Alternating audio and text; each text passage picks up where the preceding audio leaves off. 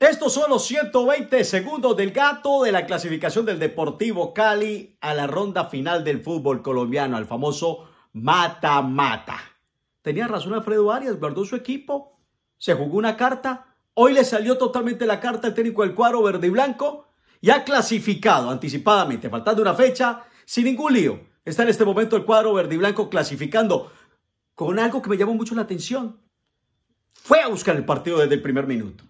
Lo fue a buscar, fue a presionar, presión alta. Trabajo por los extremos. Y lógicamente Gastón Rodríguez, que era como ese falso 9, y el armador del equipo verde blanco en la primera parte, fue el que generó el fútbol.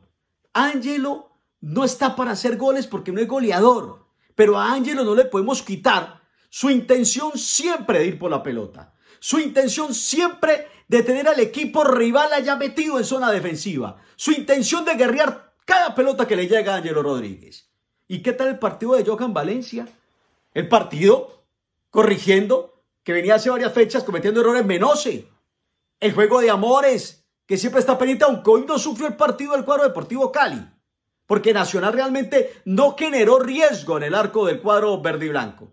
Hoy también, por ejemplo, Colorado, mientras estuvo en el terreno de juego, participó notoriamente.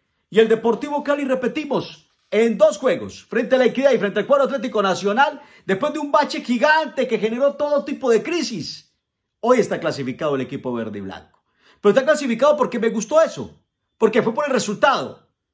Porque el técnico dijo, voy perdiendo con Tolima, cosa que critiqué, porque pudo haber buscado más como local, pero dijimos, si, si le gana Nacional, entonces lo que intentó Alfredo Arias era real. Hoy le ganó el cuadro Atlético Nacional. Y ojo, que en este momento el equipo de la crisis, el líder frente a Nacional, conjunto o junto a Nacional Mejor. Y si hoy consigue un resultado en Bogotá, va a terminar con 34 puntos, cabeza de serie y terminando de local el cuadro deportivo Cali.